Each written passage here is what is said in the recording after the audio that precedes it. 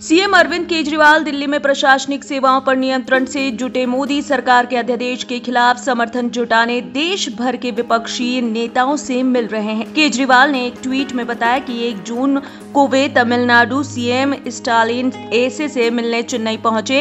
इसके बाद 2 जून को झारखंड सीएम हेमंत सोरेन से रांची में मिलेंगे। सुप्रीम कोर्ट ने 11 मई को आदेश दिया था कि दिल्ली में अफसरों की ट्रांसफ़र पोस्टिंग के अधिकार दिल्ली सरकार के पास रहेंगे, लेकिन लेकिन केंद्र सरकार ने एक अध्यादेश लाकर ये अधिकार उपराज्यपाल को दे दिए थे। सीएम केजरीवाल इसके विरोध में ही विपक्षी दलों का समर्थन हासिल करने देश भर में गैर बीजेपी राज्यों का दौरा कर रहे हैं। अध्यादेश का विरोध करने के दौरान केजरीवाल 27 मई को हुए नीति आयोग की गवर्निंग काउंसिलिंग की आठवीं बैठक में भी नहीं गए, बल्कि इसके पहले उन्हें पीएम मोदी के नाम पर एक चिट्ठी लिखी, जिसमें कहा कि पिछले कुछ सालों में गैर भाजपा सरकारों को गिराया जा रहा है। ये काम नहीं करने दिया जा रहा है। हमारे देश का विजन नहीं है। आठ साल बाद दिल्ली वालों ने लड़ाई जीती। सिर्फ़ आठ दिन में अपने अध्यादेश लाकर सुप्रीम कोर्ट का आदेश पलट दिया। आज अगर दिल्ली सरकार का कोई अधिकार काम न करे तो लोगों द्वारा चुनी गई दिल्ली सरकार उन पर कोई कार्यवाही नहीं कर सकती।